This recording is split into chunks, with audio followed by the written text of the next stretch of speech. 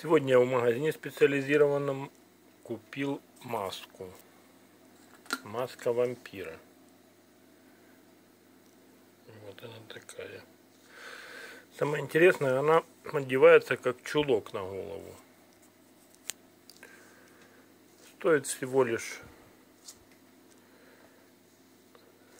30 гривен.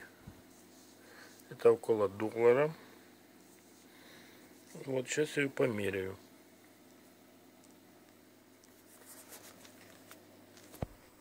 Так, одеваю ее. Вот она какая.